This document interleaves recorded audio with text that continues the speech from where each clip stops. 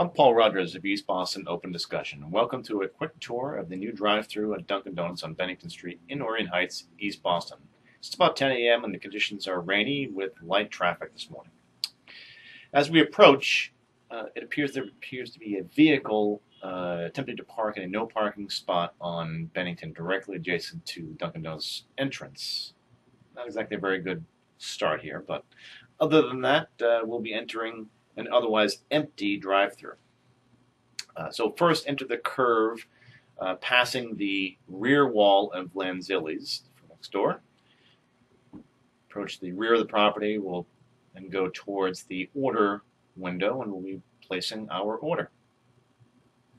So far mostly good.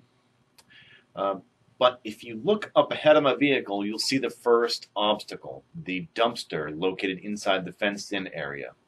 As we approach this, this is going to force us to squeeze through, directing the vehicle first towards the edge of the property, and then we'll need to take a very sharp left curve, left turn back towards the Dunkin' Donuts building, towards the pickup window.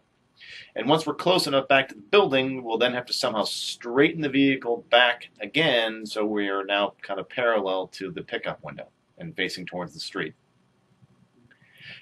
Uh, we pick up our order, but now because we are facing the curb, there's a curb in front here, we'll need to turn sharply right and back straight again towards Bennington in order to exit. Now, as you exit onto Bennington, you'll need to be very careful as you re-enter uh, traffic due to the blocked view caused by parked vehicles.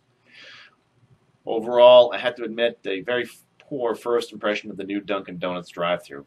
Now, regulars might get used to this odd configuration, but it seems like repositioning the dumpster to another spot on the property and pushing the pickup window closer to the edge of the property could mostly solve these issues. Now, whether or not they'll actually do that is a whole other question entirely. Hope you've enjoyed this video. I'm Paul Rogers, East Boston Open Discussion. Discussion. Thank you.